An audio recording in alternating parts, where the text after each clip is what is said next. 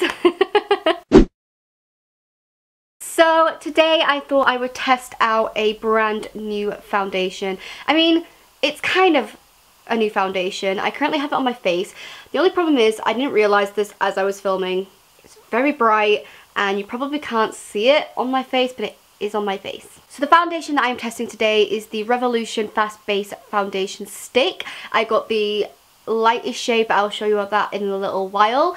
Um, I've had a lot of issues finding the perfect foundation for me and I want to show you a couple of the ones that I've been testing recently that just haven't been good for me at all. Okay, so the first two that I was trying were recommendations. This one is the Maybelline Superstay 24 hour coverage in the shade True Ivory. As you can see this is a bit too dark for me and was very orange toned so this did not work for me at all. Soph Does Nails recommended this and I thought she's pale why not? But then I forgot I have a cool tone undertone. I have a cool undertone where I think she has like a warm undertone because um, I think I'm more pink um, and she's more yellow. Um, the second one was recommended to me by Joanne, you may know her, um, she does YouTube as well, a lot of videos um, like me. Yeah, and this was the uh, True Match, L'Oreal True Match in the shade 1N. Again, too dark for me, although it probably doesn't look as bad on camera. Um, but again, she's more, she's more warm toned and I'm cool toned. So she recommended the 1C, but when I looked at it in the bottle, that still looked too dark. Um, the next that I have been trying and loving, by the way, is the L'Oreal Infallible 24 Hour in the shade Porcelain. As you can see from the bottle, it's pretty much gone, which is why I needed a good um, foundation, which is why I got this one. Um, I've been using this as well as uh, the next one I'm going to show you. This has been my holy grail at the moment. Uh, it's very good coverage, very full coverage, which is what I like. The next that I was trying out was the Rimmel Lasting breathable finish 25 hours I don't mind this. This is a very light coverage. So if you like a full coverage or a medium coverage, this is not for you. However, I do wear this pretty much every single day for work. Although recently I had a little bit of a breakout. So I have gone back to my L'Oreal. But however, I have been loving this. The only problem that I have with this is one, that it isn't the best coverage. And two, it's a doe foot applicator. And I was like, this is not very hygienic. So I wanted a different one. This is fine when I'm going to like work and stuff. However, I did want to try out the Makeup Revolution. Anyway, I've babbled on for so long. If you want to see how I found the foundation, just keep watching. I really hope I'm in focus. Okay, so, so this is the foundation stick. Obviously, you will know this because this is not exactly a brand new video. This is very bright. I may have to switch locations. Um, but anyway, this is the packaging. I will do... So this is the packaging and it is in shade F1. I have already done a swatch and it looks like it's going to be an okay match for me. It's the palest. It's, it's this or nothing. Um, and then obviously you just... Ah! That... Oh my god, you get a lot from that. To be quite fair, that is a good amount. So, first things first I need to put my headband on, don't I? I'm going to zoom you in, but just to let you know, I'm going to do half with my foundation brush. And I'm a changed woman, guys. Half with the blending brush. I did remember to damp it this time. After I did my makeup lessons with Brogan, I think it was the first one, so many of you comment being like, did you wet it first? And I was like, no. Didn't realise you had to do that. Um, I'm. This is the second time I'm using it. The first time didn't go so well, but I think that was the foundation. So let's just zoom you in and get started. I don't know how much to put on my face. I'm also not going to use you as a, use the viewfinder this time. So, like I don't know how much to use, but it does look like it's a good match. I'm just going to do that for now. But this side is going to be, this side is going to be my brush. So let's just kind of see how this goes.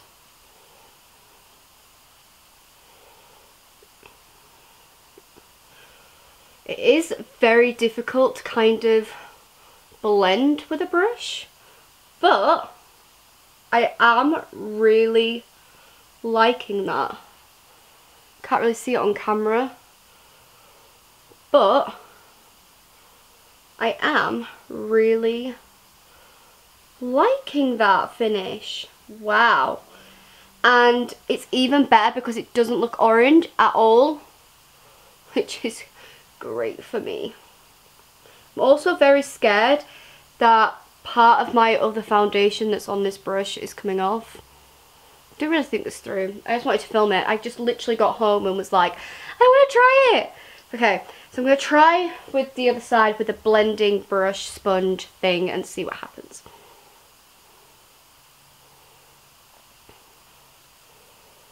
I think that's about the same. Ooh! Ooh, honey, no. Now remember, I'm new to blending sponges, so don't yell at me if I'm doing it wrong, because I most likely am. Okay, see, I just don't get it. It's damp, and it ain't doing anything. I don't, I don't get it. Ooh, that's right. I don't know if you can see that. That has really sunk into my like pores. Which I don't appreciate by the way. So this just doesn't seem to want to blend for me. I meant to like do it like that. Everyone else dabs it. I don't understand. I don't, right. That wasn't a fair true test. So I'm just going to do the whole thing with a, with a brush.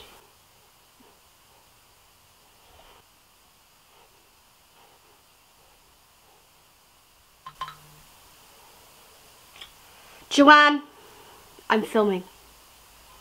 Not something I say often. what the heck? Let me zoom in. Where did that come from? That is on my brush somewhere.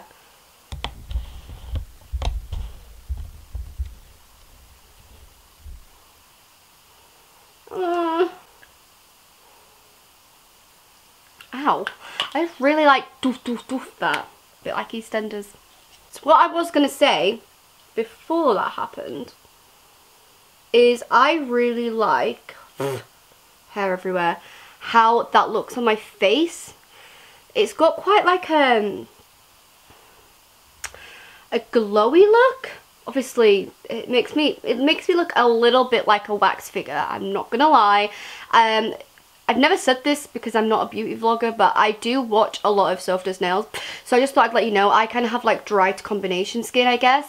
Um, I don't know, like I have an oily T-zone, but apart from that, I think that's it. So it's mainly dry because I do have a lot of dry patches. Um, but that does that match? Looks alright. I mean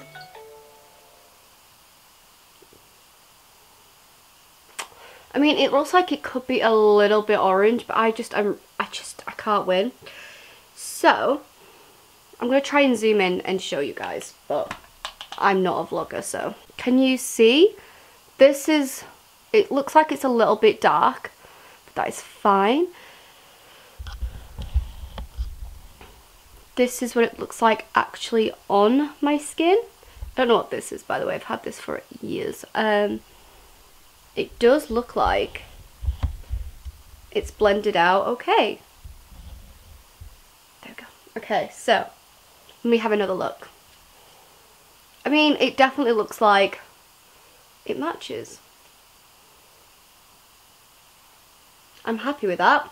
But what I'm going to do is the rest of my face now and just kind of see how it sits with that. And this is the end result. Overall, I'm quite impressed with this foundation. What is that?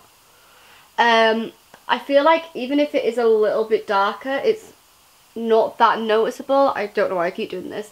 Um, I really like the way it sits on my face. It still has like a quite glowy tint to it. I feel like you can't really see it in this light, but I can't turn you down. Um, if you want to know any products that I am using on my face, I will link them below. Um, I'm not really sure about this lip. This is a very old lip. Um, I'll tell you this now. It's Rimmel Vintage Pink and it's a moisture one. Um, I'm not really sure on it, uh, but the other one before was way too bright and now I've kind of gone way too dark. Um, but yeah, I can't really fault it. It gives like a quite, for me, it's quite dark, which obviously you can't see because it's bright as hell. See if you, no. I mean, you can't see just because of obviously the camera's not picking it up great.